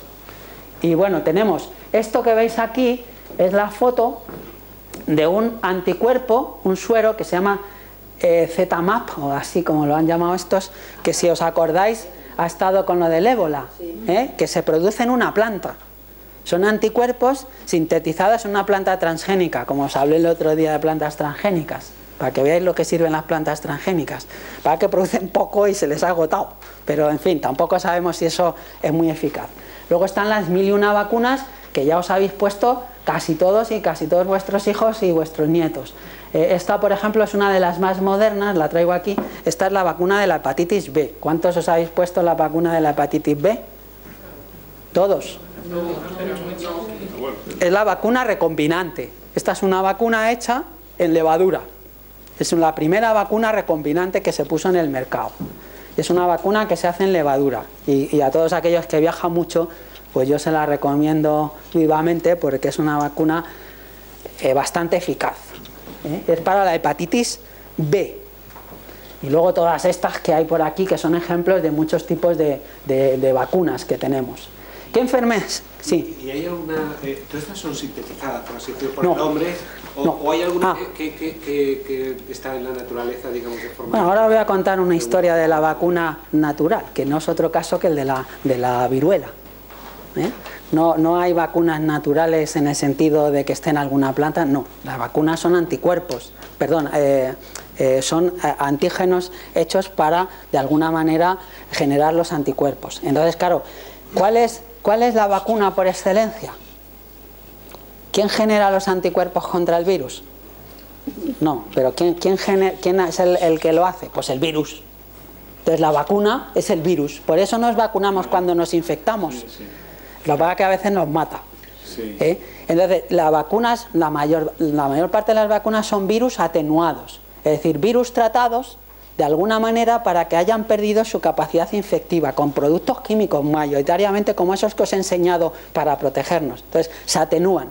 Queda la proteína coagulada, pero al final la proteína el cuerpo la interpreta como si fuera un virus que nos ataca y hace los anticuerpos. Y entonces la mayoría de las vacunas se generan con virus atenuados que, han- que vienen, ahora luego veremos un caso, y las nuevas vacunas se generan de otra manera, y es que copiamos la información del virus, la ponemos en una bacteria, en una levadura, generamos la proteína del virus, esas que se autoensamblan, se autoensamblan, pero sin nada dentro, como si hubiéramos vaciado la bola de, de golf, nos la ponen y el cuerpo lo interpreta como si nos estuviera atacando un virus, pero claro, no nos mata porque solo lleva la cáscara. Y entonces fabrica los anticuerpos. Y cuando venga el de verdad, lo tenemos. Ya tenemos la protección. Esas son las vacunas. Todo es sobre diseño humano, por así decirlo. Esas son de ingeniería genética. Bueno, las atenuadas no. No, no, digo las Las, las, las que otras sí, las son de ingeniería genética. Son las que han hecho en las plantas o las que hacemos en levaduras. hepatitis La de la hepatitis B es la primer ejemplo de ingeniería Es genética. decir, ¿cómo se protegen las plantas? Las plantas de mala manera. Nosotros diseñamos este tipo de, herramientas para poder eliminarlas, pero el resto de seres vivos no inteligentes, Los, los restos de los seres vivos no inteligentes eh, aguantan en la medida que sus sistemas inmunitarios, y las plantas no tienen un sistema inmunitario como el nuestro, tienen otras defensas que son enzimas que rompen las, son nucleasas y proteasas que rompen las proteínas, es otra forma distinta. Pero eh, si los animales que no son inteligentes se mueren o sobreviven porque se autovacunan. Pero no, y ahora claro, si los vacunamos, nosotros, eh, entonces los protegemos. ¿Qué ocurre? Que si los. eh, eh, esto, luego os cuento algo sobre la peste porcina africana porque tiene mucho que ver con. Es que os puedo contar. Voy a, voy a ir rápido porque si no, no acabo. No, la triquinosis es la triquina, que es otro, eso es un parásito, no tiene nada que ver. Avanzo, para poneros en, en- voy a ir rapidito, porque ahora las enfermedades, viruela. La viruela, pues es un virus que se llama pox, porque el, es como produce pustulas, y eso es el pox virus en inglés. Y, y bueno, tiene, tiene un, ciclo que ya os he contado, que entra, que sale, en fin, no voy a entretenerme. Este es el virus, visto, ¿eh? esto es una foto de verdad, fijaros que iba a decir bonito, pero, pero no sé si es bonito. ¿eh? Es un virus DNA bicatenario de doble cadena, en fin, eh, tiene una alvultura muy compleja, es bastante grande además. ¿Eh? Eh, eh, como ejemplos, uno de los primeros casos de viruela conocidos fue el faraón Ramsés V. Se conoce por la momia, que tuvo viruela. Y otro caso conocido es Abraham Lincoln. Son gente que ha tenido viruela. Bueno, aquí veis ahí lo que se llama la viruela mayor y menor, que simplemente es una viruela más puñetera que otra, pero es lo mismo. Y luego no hay que confundirlo con la varicela. La varicela parece viruela, pero no. Y fijaros cómo ataca las pústulas en una viruela y en una varicela. En la viruela nos ataca las extremidades inferiores y esta nos ataca fundamentalmente el tronco y arriba. ¿eh? Aquí veis otra persona. Eh, bueno, eh, la fiebre, cansancio, dolor de cabeza, en fin, eh, evidentemente yo no, nosotros ya no hemos tenido viruela, con lo cual, pero sí que algunos han tenido varicela, evidentemente no tiene nada que ver. Eh. Sí, claro, sí. Bueno, la, la historia de la viruela es muy interesante porque es con la que empiezan las vacunas. ¿eh? Eh, Este señor que está aquí, Edward Jenner, que es el que inventa las vacunas, entonces, eh, digamos que la primera varoliza- variolización, que es la vacunación en plan masivo, la hace esta señora, Lady Montagu, y también está el caso de Francisco Javier Balmis, que es el que lleva la vacuna a, a- Sudamérica a- a con Sudamérica los niños infectados. Iban infectados con el virus vaccinia, que de ahí viene la palabra vacuna, que es una viruela de las vacas. Pues le dijimos a los ingleses que si queríamos que vacunáramos a los chinos y dijeron que no, que preferían que se murieran. Claro, bueno, pues eso es la... Y entonces, eh, esto es un caso de zoonosis, porque las vacas también tienen viruela que nos pueden infectar, pero esa viruela no nos hace tanto daño y en el fondo nos vacuna. Ese es un primer caso de vacuna atenuada. ¿Y cómo la mantenían? ¿Cómo la cultivaban? En ratoncitos no sabían, se llevaban a los niños y las pústulas y tal, que a los niños no se morían, ¿eh? O sea, simplemente tal. Lo difícil era mantener la infección, porque los niños se iban curando. Y entonces había que ir infectando a otros niños. Esto fue todo un episodio de la medicina que merece la pena que alguien nos lo cuente algún día. Hay, hay un libro. en- No, hay, hay muchos libros, sí. Yo tengo uno muy bonito del CSIC y, y los hay. Bueno, en el fondo es la primera, la primera, podemos decir, y la única de momento, eh, digamos, virus que se ha eliminado y erradicado del mundo. Se supone que el mundo está libre de viruela. Eh, quedan vi- virus de viruela guardados por ahí, que espero que nunca salgan. Y para está. uso militar. ¿eh? No, hombre, no, para uso militar no. Además, esto no se puede usar en uso militar, no es una. Bueno, avanzamos. SIDA. El SIDA es un retrovirus, esta es la forma que tiene el SIDA, es como una de esas pelotas que hablábamos antes con espículas. Eh, se, se- tiene una serie de receptores en las paredes de las células, que es lo que se puede atacar. ¿eh? Entonces, hay personas que son resistentes al virus del SIDA porque no tienen estos receptores. Es- hay personas que de forma natural no pueden infectarse al SIDA porque no tienen los receptores. ¿eh? Entonces estos son inmunes. Eh, bueno, tienen un ciclo de multiplicación que se, se llaman retrovirus y por eso les afectan los retrovirales. Es un ciclo complejo, no os lo voy a dedicar mucho tiempo. Lo que sí quería comentaros es que alrededor del SIDA hay un montón de enfermedades oportunistas, cándida, micobacterium tuberculosis, etcétera. El mensaje es, esto no lo causa el virus del SIDA, sino que como nos debilita tanto, lo que hace es que al final nos facilita que otras cosas nos ataquen. Entonces hay mucha cosa que dice, es que el SIDA causa no sé qué cosa. No, el SIDA es el SIDA y las otras enfermedades son las otras enfermedades. ¿Eh? Y, y el sarcoma de Kaposi, porque en el fondo esto sí que es un, esto es un, un cáncer. Bueno, iba a contaros aquí pues cómo se adquiere el SIDA. El- la proporción de cómo se adquiere el SIDA en hombres y mujeres no es igual. Es decir, eh, el tipo de, de forma de contagio no es la misma ¿eh? entre los hombres y las mujeres. La probabilidad mayoritariamente esto se- en, el- en los hombres se contagia de hombre a hombre y en las mujeres se contagia fundamentalmente de forma heterosexual. Eh, las razones no las voy a contar porque son no evidentes. O sea que, y por supuesto hay una fracción de- derivada de la droga, de las jeringuillas y otras cosas. Bueno, eh, existe una terapia anti- antiviral que se puede hacer a nivel de, distintos ataques, de, de bloqueo de inhibidores, de, de la síntesis de proteínas, de la transcriptasa, bloqueo de los receptores, en fin, las terapias antivirales ahora mismo son múltiples y gracias a eso pues hay mucha gente. Eh, los síndromes y la, y la forma en la, que, en la que nos ataca el SIDA, pues ya lo sabéis muchos, habéis visto muchos casos en las películas, no os voy a entretener en esto.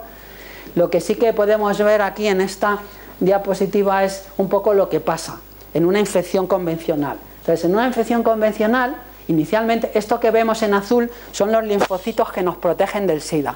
Entonces, inicialmente, cuando el SIDA nos ataca, inmediatamente disminuyen nuestros linfocitos porque se los carga. Luego nos recuperamos a lo mejor un poco, pasamos de esa etapa, aumentan los linfocitos, pero queda una, una, una población viral subyacente que se va cargando poco a poco los linfocitos y cuando estos bajan mucho, ya nos vuelve a atacar. Bajamos las defensas y nos vuelve a atacar. Entonces hay que, esto es un poco lo que pasa. Puede estar ahí muchos años y no pasar nada porque uno se puede morir de un accidente de coche por aquí, pero claro, en todas estas etapas uno infecta, porque aunque haya poco, infecta. La gripe. Pues la gripe es otro virus muy bonito porque tiene muchas, yo siempre digo muy bonito porque desde el punto de vista biológico tiene muchas, muchas cadenitas de, información dentro, no tiene una sola, sino que tiene varias. Es el virus de la gripe, es un ortomixovirus. ¿eh? Eh, eh, bueno, esto es la forma en la que se replica, tampoco voy a... eh, lo que sí quería decir es que tiene una deriva eh, muy grande, es decir, se generan muchas mutaciones. Por eso muchas veces eh, nos ponen una vacuna, claro, la vacuna hay que prepararla con tiempo. Los epidemiólogos tienen que, decidir cuál va a ser el virus que nos viene, o los virus que nos vienen. Pero claro, en el camino, pasando por, Valladolid, pues puede mutar. Y entonces, si pasa por Valladolid de mala manera, cuando llega yo me he vacunado y a lo mejor ya no me sirve porque ya se ha mutado y tiene una deriva antigénica grande. Entonces, ¿qué pasa? Pues este año yo tengo la sensación de que la vacuna está siendo probablemente pelín menos eficaz porque hay alguna variante nueva, porque hay demasiados casos. Pero claro, esto tampoco es mucho decir, no me atrevo hasta que no hagamos el cómputo final y veamos al cabo del año cómo ha ido la relación de vacunados y de, y de infectados por gripe. Generalmente se produce por el fallo, entre comillas, de la predicción, porque la vacuna se tarda tiempo en preparar y hay que asumir con tiempo de un año de cómo nos va viniendo la gripe para hacerlo. Entonces tampoco nos podemos echar eh, toda la culpa, porque es que el virus se defiende de esa manera. Pero bueno, eso es lo que... ¿Y cómo se hace la previsión? En función de la epidemiología, de cómo van saliendo en otros países y cómo va, va rotando con la época del año, pues generalmente cuando llega a nosotros ya sabemos cómo va a ir apareciendo una variante. Van, van aislando los virus, van secuenciándolos, van viendo cuál es, van... Difícil, ¿no? Muy difícil. Por eso hacen multivalentes y van poniendo los del año anterior y van viendo si aparece una variante. Y, y bueno, bueno, eh, la vacuna polivalente pues es una inmunización temporal. ¿Por qué es una inmunización temporal? ¿Por qué la tenemos que poner todos los años? Porque cambian. No es como las otras que nos la ponemos una vez o pocas veces en la vida. Esto no nos vale. Bueno, hay diferentes tipos de gripe. eh, a ver, los diferentes tipos de gripe. Ah, pues no sale por alguna razón. Eh, hay diferentes tipos de gripe A, A, B y C y otras gripes y cada una afecta a animales, a nos- algunas gripes afectan a animales y al hombre a la vez, acordaros de la gripe aviar y otras que no. No sé por qué no sale esta porque he estado trasteando con las diapos y ya está.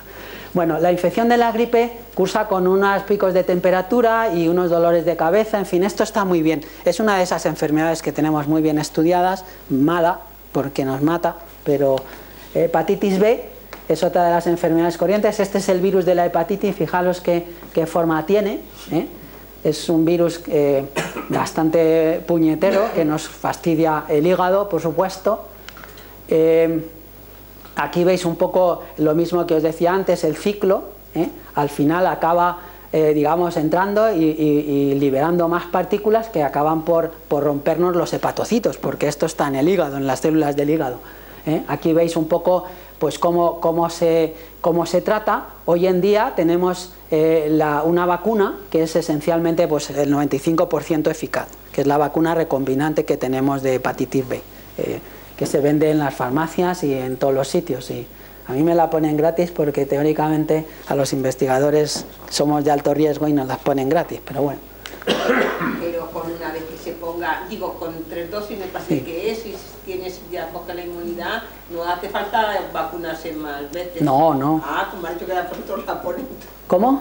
que a vosotros la ponían gratuita, digo, que no, la- no es la de la gripe, o sea, No, en la de momento. no, digo la de hepatitis B, que nosotros nos la ponen gratuita. Son. Ya. Sí. ¿El aumento del hierro en sangre de la ferritina puede ocasionar daños en el hígado, hepatitis? Mm, Bueno, a ver, eh, eh, el, la- la- el aumento de hierro en, en la sangre es una enfermedad relativamente conocida, que además padece mucha gente, y, y cuando tienes mucho hierro en la sangre puede ocasionar daños en todos los órganos del cuerpo, incluidos los del hígado. En el momento que alguien tenga algún problema en algún órgano, los virus son, digamos, como depredadores, y como si fueran los cuervos y entonces se aprovechan y te pueden, pero no ocasiona la hepatitis. La hepatitis la ocasiona el virus. Lo que ocurre es que cuando nosotros estamos débiles por el hierro, por cualquier cosa, eh, entonces eh, lo que ocurre es que se aprovechan. Y como además el hierro es de los que más afecta al hígado, pues entonces cuando la célula está más deteriorada es cuando los virus hacen más daño. Y entonces eh, lo que hay que tener contra los virus es buena salud, porque la única forma de, de controlarlos son esos. Pero el hierro no provoca el que haya un virus de hepatitis. El virus de... ¿Lo favorece? No, favorece el que te pueda infectar, porque estás débil o porque estás lesionado. Todo lo que esté lesionado, el virus entra más fácil. Lo que pasa es que es algo un poco desconocido, porque siempre se dice hierro bajo, ferritina, está alto, pero lo del hierro alto es muy No, pero- general en el vulgo, no me refiero No, a... pero el hierro alto es Es- muy es- prevalente en nuestra sociedad. Es una enfermedad genética en algunos casos y, y eso, pero no me quiero meter mucho en clínica porque ni soy médico y luego me decís que os cuento cosas. Pero bueno, A lo que quería contaros es que la hepatitis las hay de muchos tipos y los virus son diferentes. La hepatitis A, la B y la C son tres virus que no tienen nada que ver. Son hepatitis, causan el mismo problema en el hígado, que es una especie de cirrosis, un, un problema grave en el hígado, pero son tres virus distintos. Y además que se contagian de forma distinta y funcionan de forma distinta. La hepatitis A, que también hay vacuna y que a nosotros también nos la ponen, se puede contagiar de una forma tan sencilla como por el agua y alimentos. Mientras que la hepatitis C se contagia fundamentalmente en las transfusiones de sangre o por inyecciones. Es muy difícil que la hepatitis C se contagie por el aire. ¿eh? La, ¿Y la B? sí, la B por el aire. ¿eh? Entonces, eh, en principio, ahora está en la, en la hepatitis C, por ejemplo, no tenemos vacuna, sin embargo, tenemos estos antivirales que están ahora en danza, que ahora, por primera vez en la historia, se consiguen eh, matar. Perdona, la hepatitis B siempre se ha dicho que contagiaba también igual a través de se- sexual y por También, sangre, también, también. Pero por el aire, también puede contagiar, porque en el fondo con cualquier fluido que tú tengas puedes contagiarlo, le pasa un poco lo que al ébola también. ¿eh? Eh, evidentemente ¿eso es nuevo? por, por la sangre, Digo que eso es nuevo, No. los estudios nuevos de, de la hepatitis B, que se contagie mira, por el aire. mira, hasta por la leche. Sí, bueno, por un fluido, por la leche, por la saliva, Claro. si tienes una herida. Claro, Pero- claro, pero a ver, por el aire en el sentido, si te, si te pasan la saliva por el aire y, y- o te dan un beso o algo así, Sí, en que el- tú tengas una herida.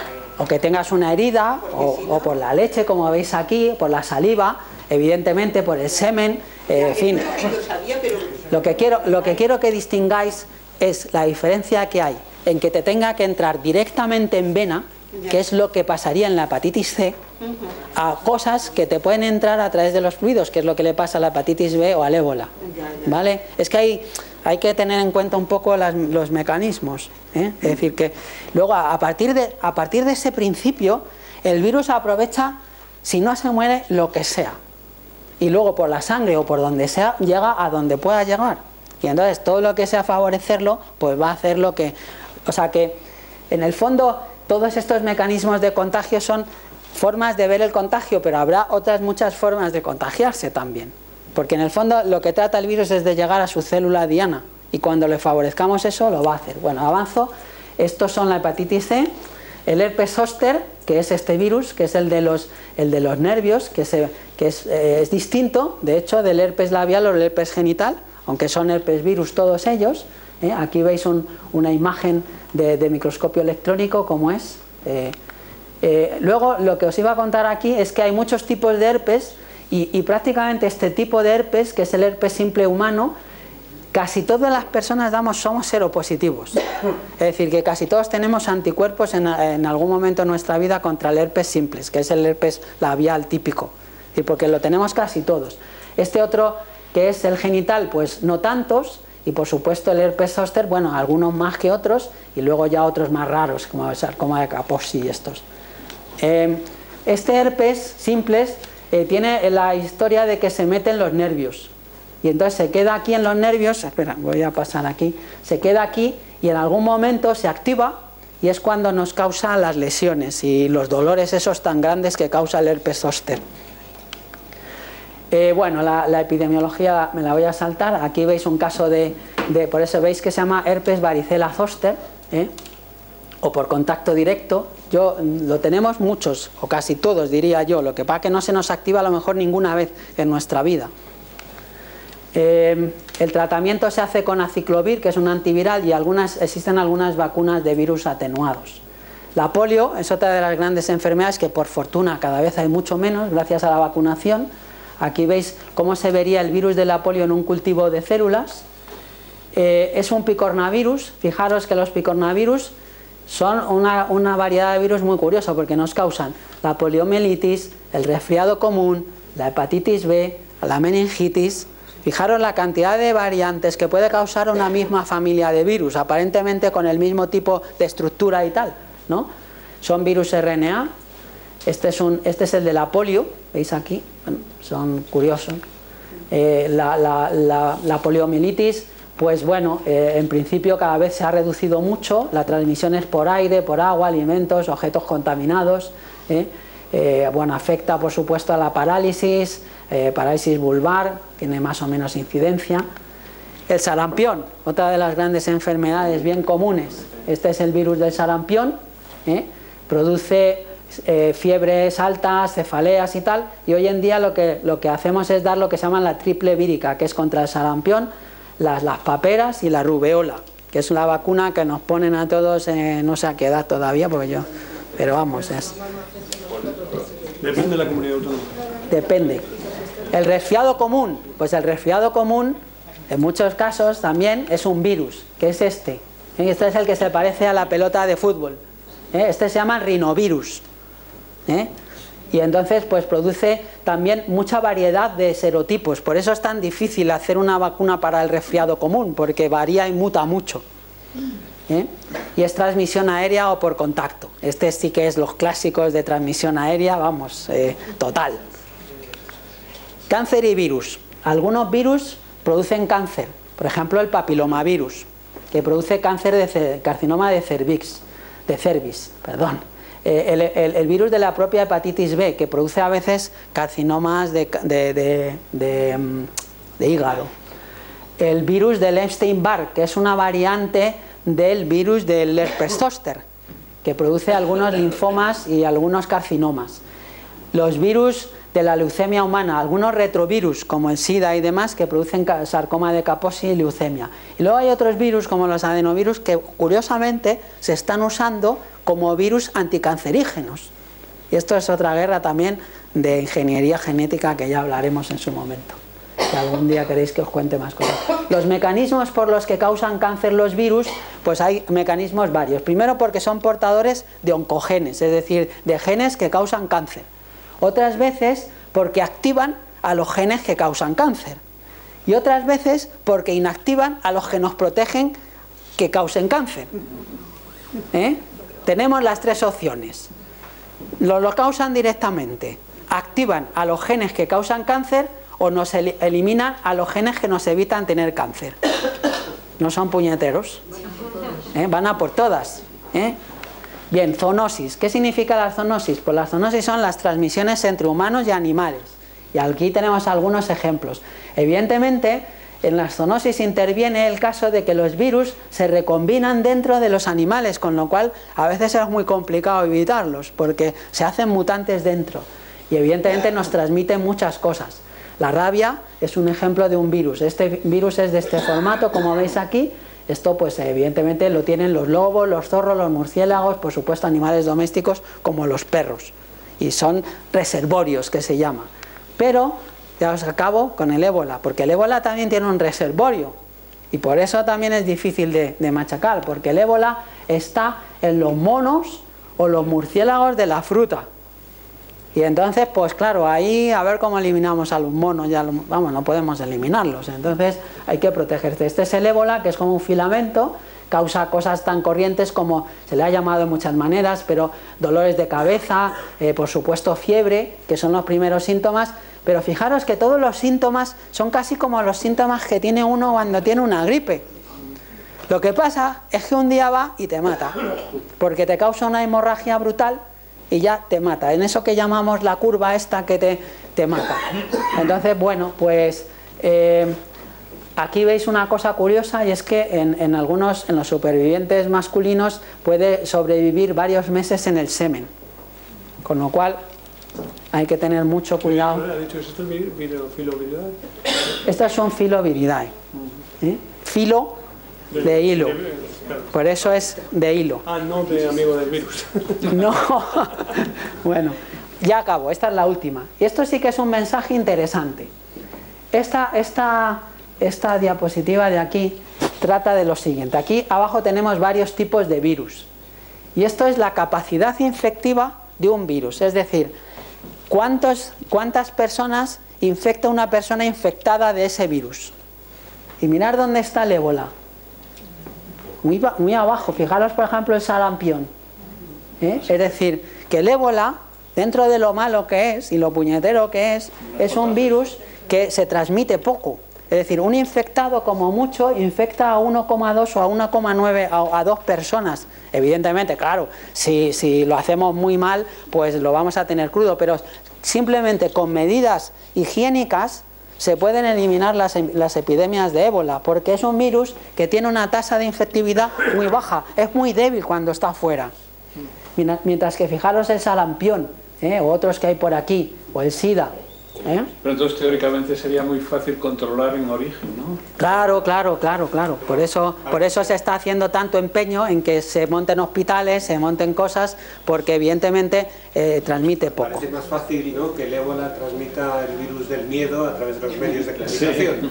¿no? A ver, bueno, ya, ya, ya, ya acabo y simplemente que, que bueno, que muchas gracias y que, que sepamos que, que los virus de los ordenadores no son lo mismo, pero en el fondo nos recuerda mucho a los virus y nada más. Muchas gracias.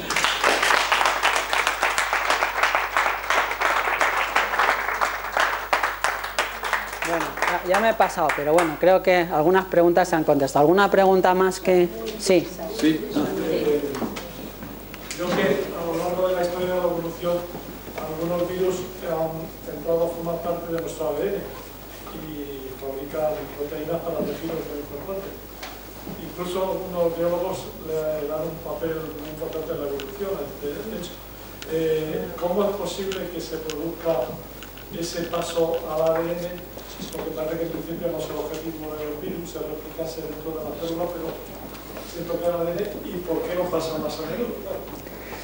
A ver, eh, lo que hemos llamado esa situación latente eh, es esa situación en la que el virus, o alguna de las varias, porque hay más casos, en la que el virus se integra dentro del genoma de, la, planta, porque lo hay, de las bacterias o de los animales, incluido el hombre.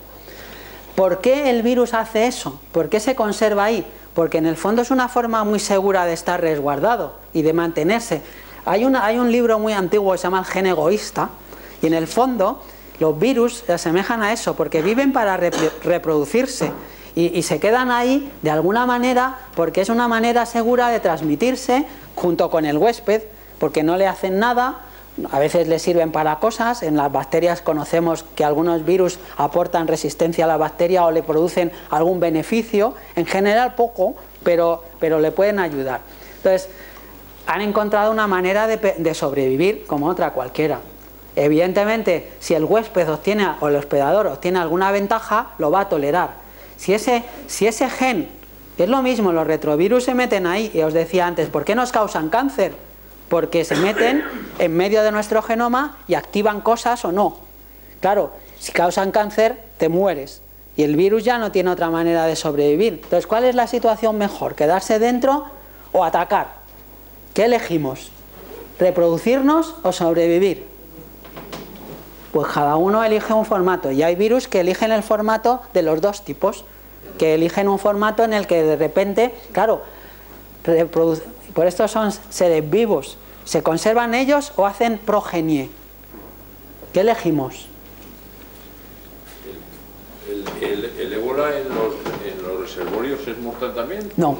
Ah, Precisamente el éxito es que es lo mismo. O sea, si lo tienes en un reservorio y fuera mortal, muerto el perro, se acabaría la rabia. Entonces, no, no es fácil, porque cuando está en el reservorio se queda en un estado, llamemos así de estos, latente o menos agresivo. Y entonces, eh, eh, por eso es el reservorio. Porque si se muriera el murciélago o lo matamos, ya acabaría el reservorio. Entonces no existiría un reservorio. ¿Cómo es posible que tenga tanta inteligencia un No, virus con esa- no, no tienen, por suerte no tienen inteligencia. Lo que pasa es que utilizan la- la- las herramientas de la vida para, para hacer lo mismo que hemos hecho en nuestras células. Claro, hay que pensar qué somos nosotros, qué son nuestras células, cómo nos parecemos o no a una bacteria, o cómo nos parecemos a una planta o un virus. En el fondo, ¿qué somos? No, pero lo que es curioso es que tienen ese instinto de supervivencia y de multiplicarse, ¿no? Claro, claro. Por eso que son seres vivos. Yo creo que sí. ¿eh? ¿Os vais a casa con la idea de que son seres vivos? Yo, A ver. En, en algún momento de la conferencia que eh, una vacuna no es más que un virus al que hemos conseguido debilitar, inyectar. Una variante de vacunas. Se consigue así. Sí.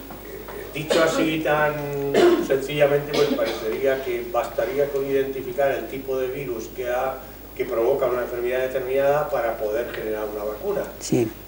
Supongo que el tema es mucho más complicado. Y la pregunta es por qué no se consigue una vacuna todavía para la hepatitis C y para el ébola. Claro, porque eh, algunos virus o algunas proteínas son poco antigénicas, es decir, cuando decimos antigénicas es que no, no generan anticuerpos para rechazarlos. O sea, se han inventado mm, proteínas o en superficie de tal manera que eh, mm, nuestro sistema inmune no las reconoce. Y entonces generan, digamos, aunque siempre habrá un pequeño título de anticuerpos, una pequeña cantidad, no son suficientes como para atacarlo. Y entonces, eh, el por qué se escapan, pues eso es inmunología pura. Es decir, si, si fuéramos mm, super mm, productores de anticuerpos a todos los niveles, no nos afectaría nada. Pero desgraciadamente, algunos han inventado la manera de escapar a nuestro sistema inmune haciendo lo que llamamos proteínas o antígenos poco antigénicos, es decir, poco reactivos contra nuestro sistema inmune. Y entonces, Son, son capaces de emboscarse y que no, no- casi no se les reconoce. exactamente, de alguna manera esa es la, la idea. De alguna manera vivimos en una época en que favorecemos en que todos esos virus aumenten. No, yo diría que No cada vez por estamos... nuestra contaminación, por esto que se habla, por todas estas No, a ver, cosas, lo- porque hay mucho cáncer, porque... No, yo, yo ¿Puede creo que... no? No, eh, yo creo que nuestro sistema de, de aproximarnos al problema de los virus, primero, tenemos una higiene enorme. La, la higiene enorme tiene una connotación, que a veces lo hemos sabido, y es que, o lo hemos pensado, y es que, claro, uno se inmuniza a- con, con los virus, con el contacto. Es decir, si alguien pudiera vivir en un mundo absolutamente fuera de virus y fuera de todo, cuando le pusieras en medio de la, de la, de la calle, vamos, a lo mejor no duraba ni 10 minutos. este que se envolvía, ¿cómo se llama? El americano Es como los niños cuando van a la guardería. Oh. Al Sí. primer año no cogen nada y el que año que va a la guardería, todo. Claro, a ver, a medida que estamos en ambientes como este, donde nos juntamos muchas personas, estamos provocando de alguna manera que todos nos transmitamos los virus, con lo cual el hecho de vivir en sociedades muy, muy digamos, juntas, pues eh, aumenta mucho la posibilidad de transmitirse virus. Si uno vive aislado de, de todo el mundo, poco se va a contagiar o poco se va a infectar. Entonces, nuestra sociedad, por el hecho de juntarnos, generamos más propensión al virus. También es verdad que generamos más resistencia porque hacemos más anticuerpos, nos autovacunamos de alguna manera y para eso también estamos atacándolos con otras, con otros, digamos, eh, anti, antivirales o compuestos como las vacunas. Pero yo no creo que estemos ahora teniendo más virus que ni, ni esto, simplemente que probablemente sí que algunos virus, los sobre todo tipo gripe o estos, que se favorecen mucho por el contacto, pues claro, eh, se distribuyen mucho. Y como, como te pille mal, que ese es el gran problema, como te pille débil, te matan. Muchos de estos virus, a gente que está bien, de forma, de tal, le, le pillan y bueno, pues tiene su fiebre, tiene su fase, hemos visto las fases agudas, las tal y las cual, y se acabó.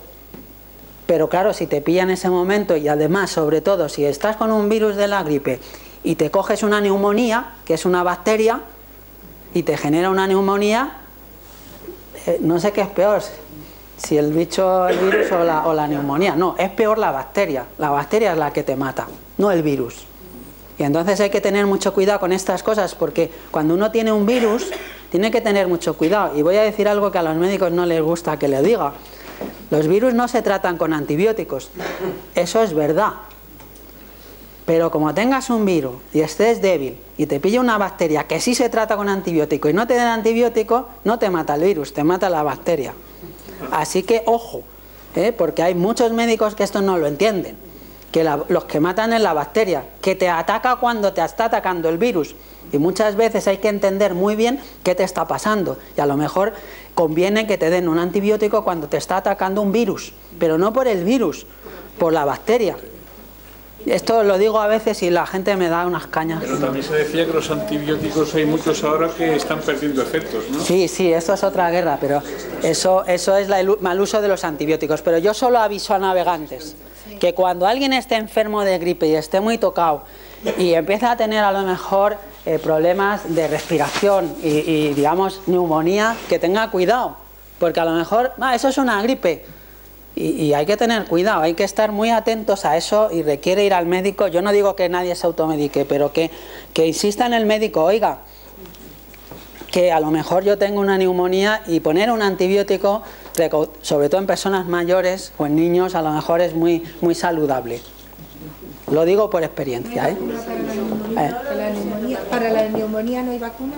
Eh, sí, claro, sí, sí, están, poni están poniéndola mucha gente. No sé quiénes de vosotros os habéis pinchado. Ah, hay una pregunta. ¿Los? Virus. ¿Sí tienen? Tratamiento. ¿Tratamiento? Ahora mismo yo diría que los, los, lo sabéis un poco por lo que está pasando, ¿no? A ver, el, el, virus del SIDA, que era hasta ahora... El ébola es que no nos afectaba mucho y ya veis que están sacando ya tratamientos. El ébola, el ébola ha sido un problema, ¿por qué es un problema el ébola? Por la pobreza, por la miseria. Es un virus muy malo, ¿eh? Pero es un virus muy malo que ya habéis visto que si se trata y van a aparecer antivirales ahora mismo así. De hecho, ya se os han puesto aquí cuando estuvieron y han funcionado muy bien. Mis amigos me han dicho que han funcionado. Y no está porque como no afectaba más que a unos pocos pobres, pues no. Pero el ébola, no os preocupéis, que el ébola no va a ser un problema. El SIDA sí lo es, porque todavía tenemos problemas. Entonces, están tratándolo con antivirales que se va consiguiendo. De momento no. En la hepatitis C, que hasta hace unos días no teníamos antivirales suficientes, ya lo tenemos. Entonces, prácticamente ahora mismo todos los virus, más o menos de una manera o de otra, los, más, los que más nos afectan los estamos tratando. ¿Eso qué significa? ¿Que te cojas una gripe y no te puedas morir? Ya os he dicho que sí, pero evidentemente pues eso va a depender de otras muchas cosas. ¿eh? Pero bueno, los, los grandes virus, los, los, más así, a nosotros, claro, porque los pobrecillos que no tienen dinero, ni tienen sanidad, ni tienen nada, los van a seguir matando. Pero nosotros ya no, yo no digo que nadie se muera de un virus, se muere mucha gente, pero cada vez, si uno tiene cuidado y demás, pues cada vez menos. cada vez menos. Y uno de los grandes problemas que había, que era la hepatitis C, pues fíjate, qué suerte que ya ahora solo es un cuest- una cuestión de dinero. De dinero. Más preguntas. Sí, Bueno, eh, desde, yo tenía curiosidad, desde la aparición de la vida, digamos, celular a nivel evolutivo, ¿en qué momento aparece? ¿Se conoce? no- nadie sabe muy bien cómo, cómo surgen los virus. Hay muchas teorías. Eh, hay teorías de que es una involución de la vida. Es decir, los virus hay gente que dice que es una bacteria venida a menos. Y hay otros que dicen que han evolucionado de forma distinta. Eh, no, no hay, hay muchas cosas al respecto. Eh, es que no sabemos ni dónde sale la vida, entonces eh, ya saber cómo se ha producido un virus difícil. Pero si lo consideramos un ser vivo, este es el, el escalón más bajo. Es El escalón más bajo es el, el que os he enseñado antes, que son los priones y los viroides. Ah, perdón, los priones, sí, es verdad. y los viroides. Y los viroides, viroides, Eh, sí, sí, sí. A, a nivel de ser vivo, ya no sé, a ese es más bajo. De momento, más básico, más básico. Por eso digo, ¿cuánta, Prión y virón. Prión, El prión y los virones. Esos, cuánta intención siendo tan pequeña? ¿Por qué se autorreproducen en cosas tan pequeñas? ¿Por qué nos infectan y por qué nos causan enfermedades? capaces de mutar, ¿no? Y- Sí, claro, la proteína del prión es una proteína que la tenemos todos que se muta y a partir de ahí nos infecta. Esto, es la, esto sería otra guerra. Eso es otra conferencia. Eso es otra conferencia. sí. Bueno, Gabriel que pues nada.